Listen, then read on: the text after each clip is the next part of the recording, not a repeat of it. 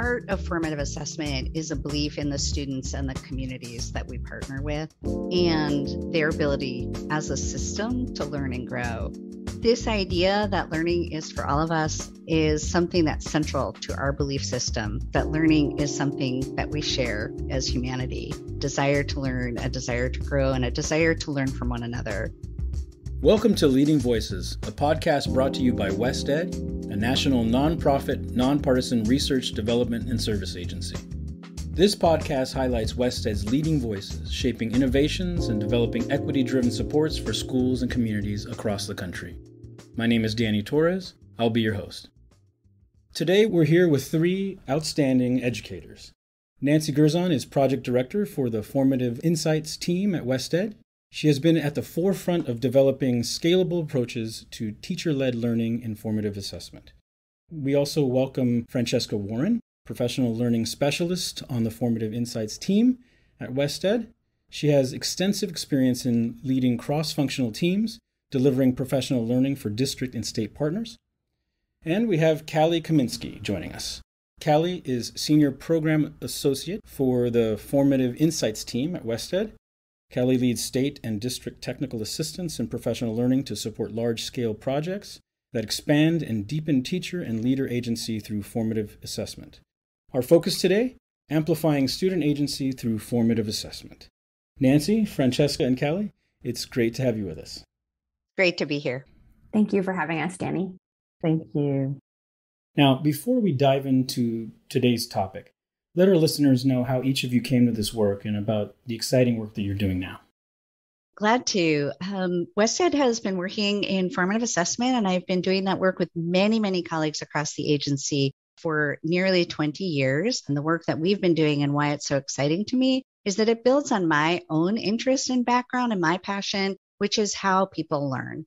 And my graduate work was in organizational development and systems change and thinking about how organizations support humans to grow and to really find passion and find a place of entry where they themselves can develop deep skills over time. So, this is a way to do that in education for not just teachers, which we often see in professional learning, but also for students to learn in new ways, for teachers to gain agency over their learning, and for leaders to really think differently about how to create cultures of growth in their schools. Franchesca. So, since joining the formative assessment team at WestEd, it's really been just eye opening to see across the country and across the research across the world. It says that if we give students agency over what they learn, they will learn it. They have the tools. And I've really come to this point that I really believe that we get out of their way. We give them resources, we give them tools, and we trust them to ask the right questions. And teachers also. You're not going in with a deficit mindset, you're going in with the kids have it. How do we discover it? This is what's needed. This is what's needed right now to push us out of the compliance stage of just testing, testing, testing, and moving to assessment. And how do we use it to change what children will learn? Uh. I'm Cali Kaminsky. I came to the WestEd team in March of 2021. Prior to that, had a breadth of experience in the secondary space. So was leading state level secondary work, particularly focused around personalization, competency or proficiency based education, and pathway opportunities for students. And one really interesting thing to me about this work, my team will think I'm a bit of a broken record here, but I really love the intersection of policy and practice and for this work to be able to work systems level with state and district leaders on the policies and the conditions that support formative assessment and student agency. And at the same time, often sometimes in the same day, being able to sit with classroom educators, sit with students, and really understand how it's playing out for them in their classroom is really exciting to me. And that's something that keeps me excited and engaged in this work is being able to sit right at that intersection of policy and practice. Let's start by talking about what formative assessment actually is and how you define it. And then what exactly is student agency and how does formative assessment lead to student agency and how, how are they related? Formative assessment is a process of reasoning from evidence that is emerging during learning. It's a process of making sense of how students communicate, show, demonstrate what they know. The hope is that students have we have an opportunity to be curious because students have the knowledge oftentimes. But if we are only looking for academic answers, we miss it. And so, formative assessment is a way of having evidence show up in the classroom in a lot of different ways. It's creating really strong tasks where teachers know this is what this knowledge looks like as it's emerging for this standard or for this learning goal. Our work is to give expertise back to teachers, to create space in which teachers' content knowledge and pedagogical content knowledge are the entry points for seeing what students know and can do. And when we create space and structured opportunities for them in the classroom, teachers learn through formative assessment, not just for more evidence to show up for more students more of the time, but how to turn that evidence into actionable steps. That's first. Teachers have to learn how to do that. And as we move into years three and four of learning formative assessment, because it does take that long, what we see is the structures and routines in the classroom change significantly, and students become the ones to use the evidence independently or with their peers. That's a big definition. So if we go back to that beginning statement, formative assessment is a process of reasoning from evidence where students and teachers work in partnership and feel comfortable, safe, and supported to talk about what they know and don't know in ways that are going to move learning forward. Our team believes, and based on the research that we pull in to support our work and provides a foundation for our formative insights teamwork, we believe that sort of three things in tandem support student agency, which was the second half of your question, Danny. So the formative assessment practices and routines that Nancy just described, supporting greater student identity and the greater student identity in the classroom and classroom culture all support increased student agency. And for us, that means that students are thinking metacognitively about where they are, sort of this learning how to learn, that they're confident in their learning, that they can support, use evidence to support where they are in their learning and what's next, use evidence to support where their peers are in their learning to push their peers forward, and that that can happen with support of the teacher but it's really led by students and peers themselves in the classroom to know where they are in their learning and what comes next and that they have a choice to make about that next step to move their learning forward and so for us formative assessment combined with classroom culture and student identity really support this increased student agency in the classroom and i'd like to add to um, Cali and Nancy said is that I think something that's really important here is the relationship between students and teachers working together. Many times, when you go into traditional classrooms, the teacher holds the knowledge and the kids receive it. In formative assessment, that's not the case. You're working together, and students are finding new ways to self regulate and to monitor their learning. And that's huge. Classroom teachers will listen to this and say, Oh my God, my kids can't do that. Or, Oh my God, like that's scary. That's really scary sometimes. But that is where the magic happens. And so when a student can notice and recognize and respond to their learning and figure out what they need to do to learn the materials or to progress in a way, that's huge. That changes the conversation. And it really makes kids be a part of the learning and not something that's just happening to them. So when you talk about formative assessment, I think that's that's a big component um, that sometimes is lost. Just that relationship, that culture in the classroom, and kids really taking the lead on developing ways to monitor their learning and self regulating and saying, you know what, I don't really understand that. What can I do to really take a hold of this new learning that I've been introduced to?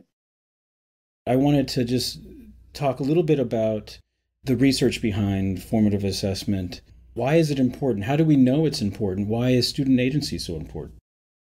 The research that is foundational to formative assessment comes from many different sources, inside and outside of educational research. We'll start with some uh, National Research Council publications, Knowing What Students Know and How People Learn, which identified ways in which we now understand cognition and learning that are not represented in the educational paradigm that Franchesca just described, which is a hierarchical relationship between teacher in charge and student compliant learning. And this idea of developing a more horizontal relationship between students and teachers and changing the assessment paradigm has started in many places, but the National Research Council really put out a call to say formative assessment should be one of the solutions, and here's why it works. But there's many other forms of research that we use, and in our work is deeply informed by research on scale, by research on the teacher role in professional learning and formative assessment, by research on behavior, by research on metacognition, and by research on self regulation, all of which speak to the critical role of developing classroom practices that strengthen students' ability to use that evidence as a way to accurately assess and monitor their learning. Most of the research literature around formative assessment appears to come from outside of the United States. Why aren't we seeing more in the US? As we look at the international research in formative assessment, we do see that a lot of this work comes from uh, the United Kingdom, Canada, Australia, New Zealand, we have on our upcoming Leading Voices series, which will take place in October 2022, we have Menucha Birenbaum coming to meet with us from Israel, where she's done extraordinary research on the issue of learning culture and its necessity in being present in order to support students to talk about what they don't yet know and creating an environment of curiosity and inquiry in classrooms. These stories of where formative assessment started is really rooted in national policy change related to having student focused learning as a very central core of what's happened. In some countries, that's gone away, and in some countries, it's pressed in. And we see different timeframes. Like as we look over the last 25 years that formative assessment has been studied extensively, we see different efforts that have taken place and through policy levers have either amplified or reduced the impact of formative assessment in some of those countries. In the United States, the corollary is that we never had that policy lever. We've kept steady to the policy lever of, of large scale assessment and pushing down into issues related to benchmark assessments or still what we would call summative assessments, even though publishing companies or testing houses say that's more formative, but it isn't. It doesn't align with the research on formative assessment. And I anticipate that over time there'll be some research coming out saying that really hasn't moved achievement.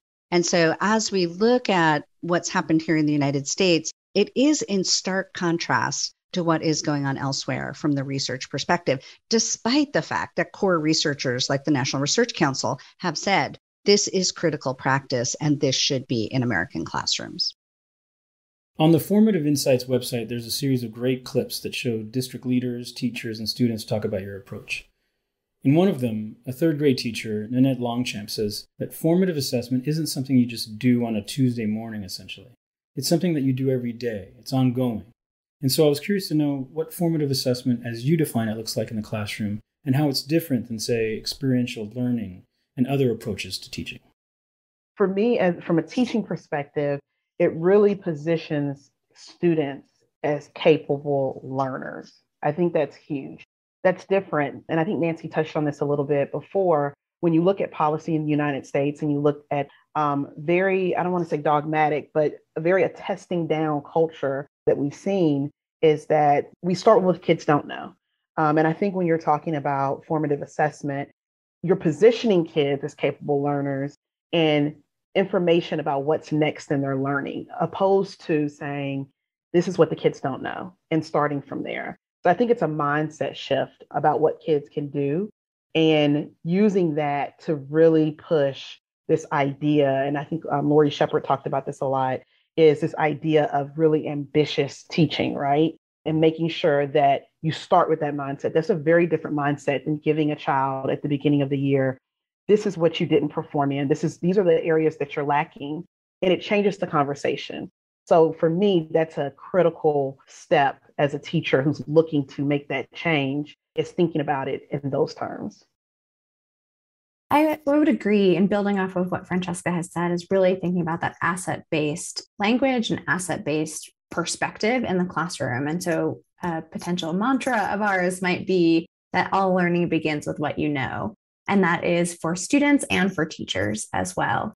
And so I think something that's really different about formative assessment and implementing formative assessment practices is being really transparent with students in the classroom about why they're learning what they're learning and why they're learning it that way. And really thinking about using things like learning goals, success criteria and others to support students in understanding what they're learning, why they're learning it, and, and why the classroom is doing it in that particular way. And so, when thinking about specific practices that happen in daily routines like peer feedback or uh, teacher student feedback, thinking about what are those routines that support students and understanding how they learn and what will move their learning forward. Let's talk about the students. I'd like to share a couple of audio clips from student interviews where high school students talk about the impact of your work. In these two clips, a theme emerged this wonderful idea of diversity of thought, how listening to ideas from peers and teachers with different life experiences empowers the students and moves learning forward. Let's hear their voices and then get your reaction to them.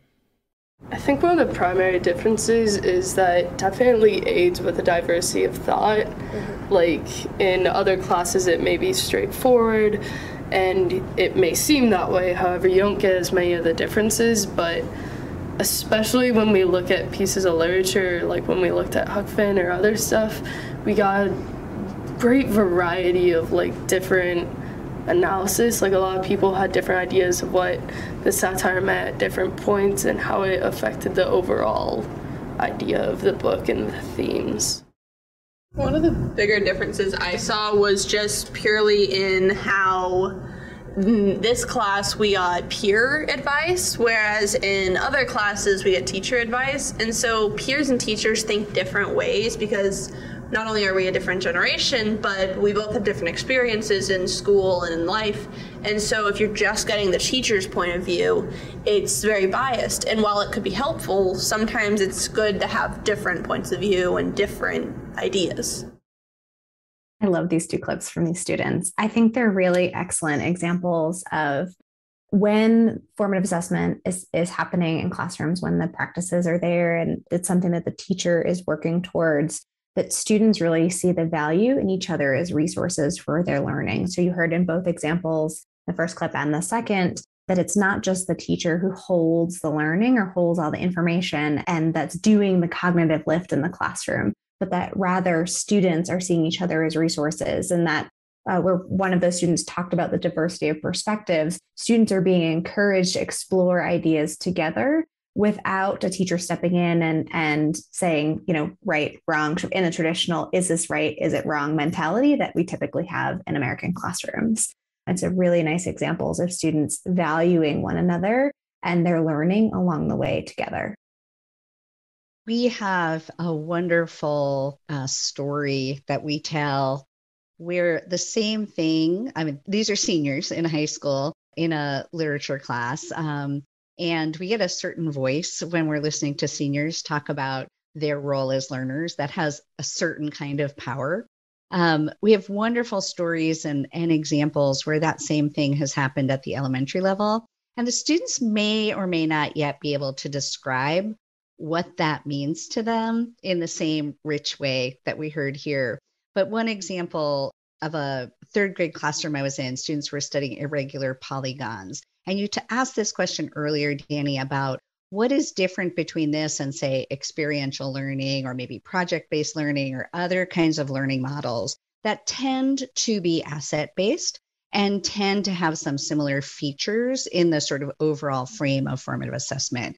But what's different in this model and formative assessment, we think of as a sociocultural learning model, where we privilege uh, students learning from their experiences and from one another in ways that don't exist in those other models necessarily, right? You might have students who are assigned roles for a project, but sometimes those activities tend to be very compliance based. And you see students going through a rote checklist or doing a task, and they're not sure why and they're not sure what it means. So, in this one example of this third grade math classroom, Students were learning irregular polygons. There were probably 30 kids in the classroom. Some were speaking Spanish, some were speaking English. There were learning goals and success criteria on the board. And the teacher was literally standing in the center of the room observing all of these kids with irregular polygons taped to the floor, trying to figure out what the measurement was for these polygons. And they had to go and figure it out on their own with the tools they had in the classroom, which they had learned this, and importantly, from one another. And it was a magical experience as kids just said, Oh my gosh, I don't know if that's right. Let's go check with them. Or other kids were just so excited about the opportunity to just be in the midst of learning and exploring something, everyone on task, everybody doing the learning, everybody in this very, very big third grade classroom in an urban school in Texas, everybody just in it. What was most important to me when I when I had a conversation with the teacher and I said to her, you know, what's important to you about this? She said, well, I really wasn't into this, but then when I realized that kids would stop asking me, "Are we done yet?" it would have made my entire teaching career worthwhile to do this earlier. But that idea of what's different as students and partners in the learning is represented in the clips we heard, as Cali said, that students learn because they're focused on a clear learning goal and success criteria, they learn how to listen for information, for ways to go deeper. They learn how to ask questions so that they can press their peers as they're having discourse or giving feedback.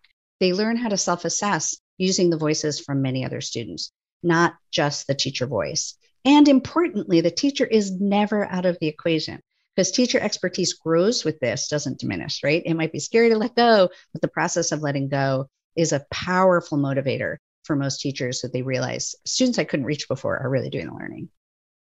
And I wanted to add to that about, you know, creating affirming classroom environments. I think this is clear in those clips. Students felt comfortable enough to have their own identities and they belonged to the classroom. And that's critical in formative assessment because that relationship, that personal relationship between student and teachers is critical for that achievement. And I think that that is huge when you talk about other models because you can't have one without the other. The teacher can't feel like, you know, I'm really in control. I have this. This is my classroom. If the kids don't have ownership in the classroom. And while there were senior, a, a clip of seniors in there, we talked just yesterday about um, in a kindergarten classroom, even though the kids couldn't name it, but they were very kind to one another in this clip and they were asking questions and they were on their way by the time that they're seniors in high school where they can really articulate the difference and what this feels like but also you know scaffolding you know children's participation skills really you cultivate them to a higher level each grade level doing this so while in kindergarten it might look different but in third grade it's a little bit more in sixth grade until you get them to seniors and they really have taken ownership and they can use those same skills as they go into whatever post secondary options that they pursue. So, this is really about building inquisitive adults, people who will question, people who will feel like it's okay to make a mistake and learn from it and push forward, if that makes sense. Hearing these clips and just hearing you talk about these formative assessment practices just makes me wish that, you know, every student had this experience in the class what are some barriers to implementing formative assessment practices in classrooms across the country in the United States? Oftentimes, one of the biggest barriers to implementation or something we see really early on when working with schools and districts around formative assessment is teachers claiming like i already do this. I already have exit tickets. I already have these particular activities. Like i already do formative assessment. And so it's really a shift in, in mindset and understanding around what formative assessment as a process of inquiry is and what it means to be gathering evidence in the lesson both as a teacher and to support students in, in the routines and the ways and the, and the strategies to be able to do that. And so i think as particularly as we're starting formative assessment work a large challenge is just reframing what is formative assessment. And it's separate from some specific routines or specific activities that might be happening in the classroom already. And it's separate from just good teaching. We often hear that as well, is that formative assessment is just good teaching, when in fact, there are a particular set of skills, strategies that are happening in the classroom on a daily basis.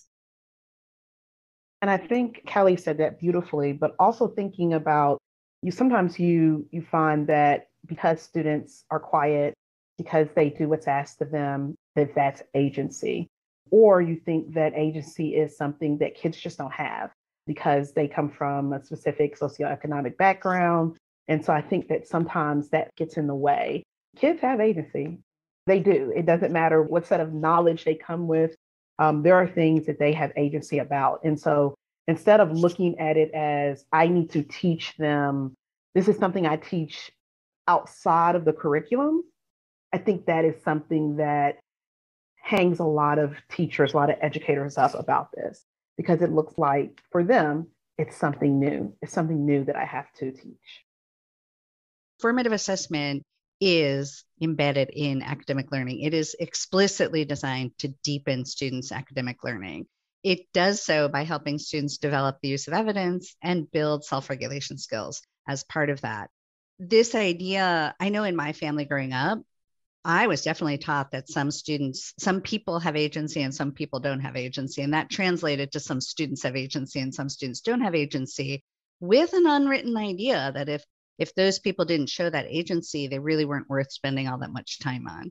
So that question of where do people develop this and how do you develop this in school, I think is something that we have to address as a society to ensure that our educators really understand that even those students that you can't reach can develop learning skills and learn how to be learners themselves and learn how to be more effective as learners themselves. It's our responsibility to teach that. And there's lots of ways to teach that and lots of places where that learning takes place. In formative assessment, that learning takes place during academics as teachers and students themselves become more skilled in being able to press on the edge of learning, to press on what we call Vygotsky zone of proximal development, to work in their next steps in a way that is supported and that they can feel confident about, and at the same time, really moves them forward in their learning.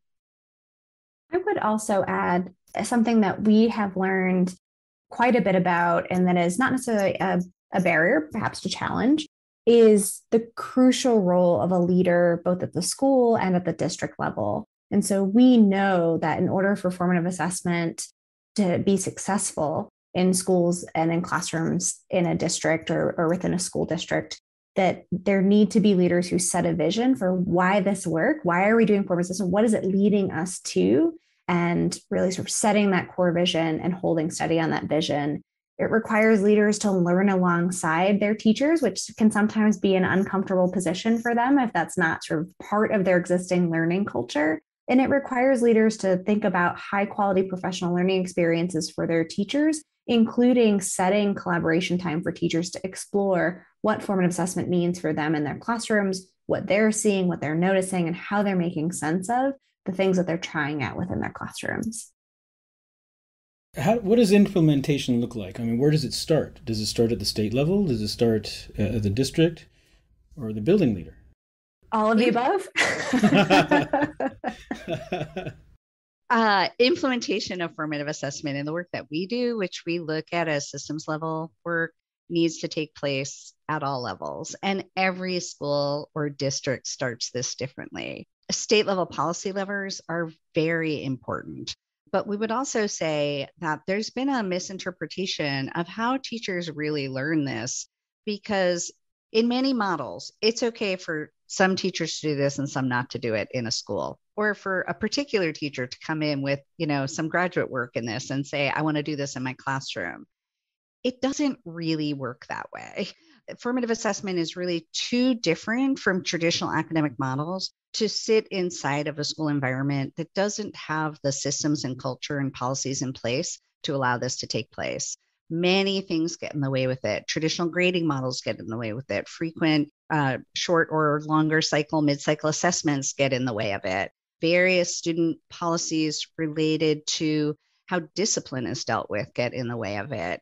There's just so many places that we could look at to say these kinds of historical hierarchical policies hinder the development of the culture and the supporting of student identity to build the safety net for kids to really talk about what they know and don't know right now and use that as the lever for change. So when we think about implementation, systems level implementation, according to, for instance, Menucha Birenbaum's research, has to be supported by leaders. And in our work, we're we're trying on the idea, and we have not yet been that successful, but we're trying on the idea of working with leaders first and giving leaders the knowledge that they need to lead an implementation. And in some places, we've done that learning for a year. We've convened cross site groups of leaders through intermediary organizations and through states to bring folks together so that they're confident and knowledgeable at the time that they're going to bring their teachers on board. We haven't yet seen the results of that. And there's a lot of reasons for that, but it's something that we're going to continue to press on. And the research deeply supports that. So, where do we start with implementation? We can go in to do implementation where our partners ask us to. And our goal is to have a through line from state to district to school leader and academic coaches to teachers and to students. I wanted to uh, shift gears a little bit and talk a little bit of, about how culturally responsive and sustaining education fits into formative assessment practices. If you could share your insights on that. Sure, be happy to. So, culture responsive and sustaining education really prioritizes utilizing cultural knowledge, prior experiences, and frames of reference for students in the classroom and really supports uh, students learning to recognize, understand, or critique social equities and sort of be able to respond to those over time within their own sort of positive development of racial, ethnic, and cultural identities. And so, as we think about the work for formative assessment and connection to culturally responsive and sustaining teaching, a lot of the work that we're doing around student identity uh, that's thinking about supporting classroom culture, honoring prior knowledge of students has an intersection with the core tenets of culturally responsive and sustaining teaching and learning. And so we're continuing to explore those connections. And I think to date, we've not explicitly named the connections between these different approaches or frameworks or, or structures to learning. But that's something we're exploring um, the connections between formative assessment, culturally responsive and sustaining education, deeper learning, and personalized learning, and how different tenants within each of those learning approaches can support and strengthen one another within the classroom. We know that not one instructional approach can be the be all end all. So, thinking about what are the things that need to be attended to, what are the questions that educators and leaders need to ask about implementing one or more of these learning approaches together within the same school, within the same district. So, uh, you know, I was thinking about how culture and language plays a role in this, these formative assessment practices. So, one expectation might be that when students speak with academic language, that we understand, oh, they are learning. But if they're not speaking in what we call traditional academic language, they're still learning. How does that play a role in part of the training, the formative assessment practices that you're championing? Yeah. This speaks um, highly to work that our former colleague Margaret Heritage has done with Alison Bailey around the role of language learning in formative assessment and how to listen for how students are developing academic language.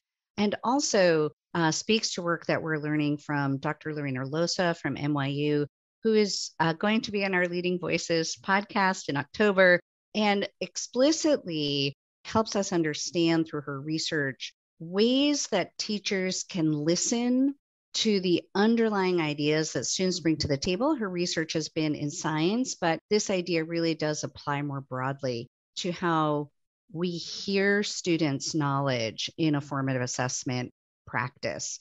And I think there's a couple of levers for that. One is that when we take the veil away and we say, this is what we're learning today, and this is how you'll show it, students can engage in multiple ways through multiple access points in showing what that means. And typically, success criteria are written in language that students can understand and you know not watered down language of the standard but language that would really say this is what this looks like and teaching teachers to listen for that is a big part of what we do. What is the evidence? Do you know where every student is on that learning progression, on that journey of learning for that day? And can you help each student respond to take next steps in their learning every day?